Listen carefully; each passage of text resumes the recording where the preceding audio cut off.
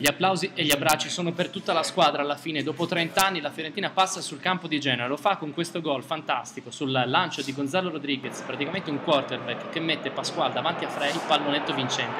È rete dell'1-0, il risultato non cambia più. Sentite il commento di Guerini. Cioè abbiamo dominato la partita, abbiamo creato non solo un'infinità di palle gol, abbiamo vinto solo 1-0, però dobbiamo essere orgogliosi di come questa squadra viene a giocare in trasferta, credo che veramente dobbiamo essere orgogliosi. Quanto è bello vedere la Fiorentina che, che produce così tanto? Beh, io sono contento per i tifosi. Grazie.